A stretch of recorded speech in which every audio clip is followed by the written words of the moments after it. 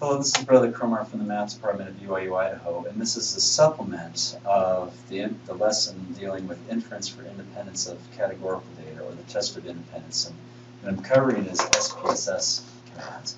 And so what I'll be doing is, is that I'll be showing you how to input uh, data in SPSS with the test of independence, then dealing with weight cases when we deal with uh, summarized data, which is what you'll mostly do with, with the test of independence. Then dealing with the cross tabs where we can get our test of independence results and then doing a few options here. So what I want to do is I want to go back to this data set here. How do we input this data set into SPSS? So what I'm going to do is I'm going to create a new, uh, new uh, data set, okay? And I'm going to go back to this data. And so what I want to do is I want to have each cell represented. Each cell will be represented by a row in SPSS. So say, for instance, we're going to put in Europe, okay, and then um, that's one characteristic of the cell.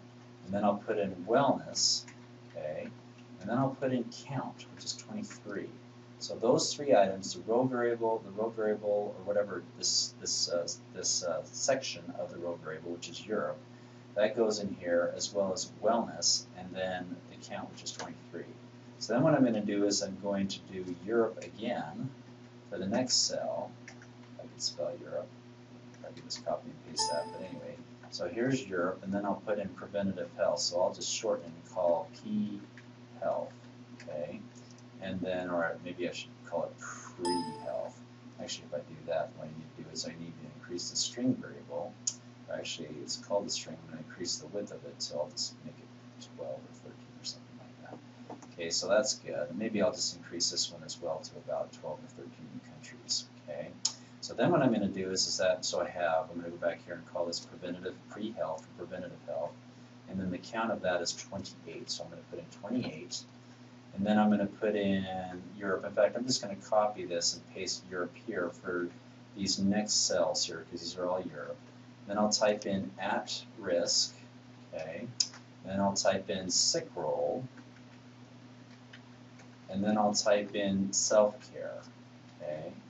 So that I'm going across, basically what I'm doing is I'm going across this row here. And I'm going to type in these numbers 59, 77, 95.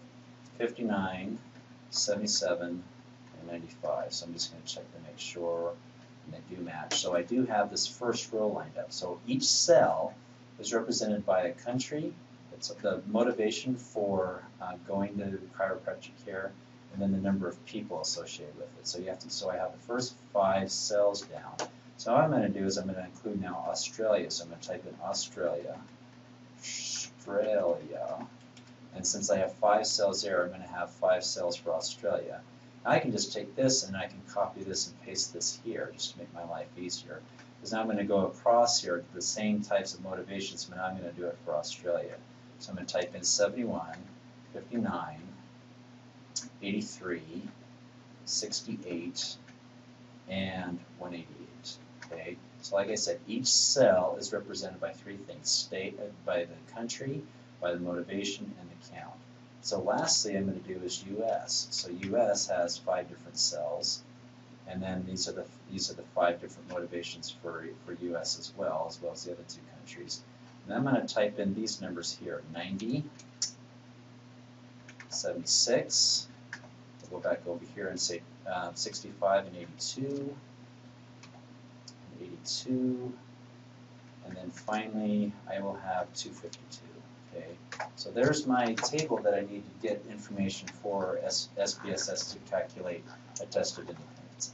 What I'll also do is, since these are generic uh, SPSS variables, I'm going to change these now to where the first one is country, the next one is motivation, the last one is count, or you can call frequency if you want to. So the next thing what I'm going to do is I'm going to do the, um, what I'm going to do, I'm going to do now the weight cases. So I'm going to weight cases by count. So I'm going to you've done this before, data weight cases, and I'll weight cases by the count variable. Click on OK. And so it just tells you down here that you weight by count. Okay, so then what I'll do is, is that the next thing is I will be doing analyze descriptive statistics crosstabs. And then I'll do all these different options. I'm going to uh, first of all, I'll go to uh, Analyze Descriptive Statistics crosstabs. I'd like to put in the country in the row variable. I'm going to do that here. Okay. And then I'm going to put in motivation under the column variable. You can do it either way. I mean, I have it set up. If you look at the if you if you look at the table here, this, these are the columns, these are the rows. You can switch them if you want to. The results are going to be the same. It's just going to be the output's going to be structured a little bit differently. So you can interchange those. So then what I'm going to do is that now I have those in there. I'm going to go to Cell, and I'm going to click on. I'm going to have observed marked, and I'm also going to get expected as well. Okay. So I have that. So um, so I have observed count, expected count. So I'm going to click Statistics, then choose chi-square statistics and click on chi-square, which I just did. And then finally, um, if I can get to here, click display, click display clustered bar chart. So that's right down here. So basically it's click on this, click on statistics and chi-square, and then click on cells, and observe is already marked, so you just need to mark expected. And we click on continue, and then click on OK, then here's our results here. This is where we can get our expected counts here. I, I showed you in the in the uh, primary video um, what expected counts mean. It's basically what you would expect in each cell, assuming the null is true. And so SPSS calculates that for you. Okay. You also get here. Here's your test statistic, degrees of freedom, and your p-value. Okay. And then finally, it's all under on the row Pearson chi-square. And then finally, here's our clustered bar chart. And this is the descriptive statistic which is the graphs that you need for a test of independence. And that concludes my video dealing with uh, SPSS commands for the test of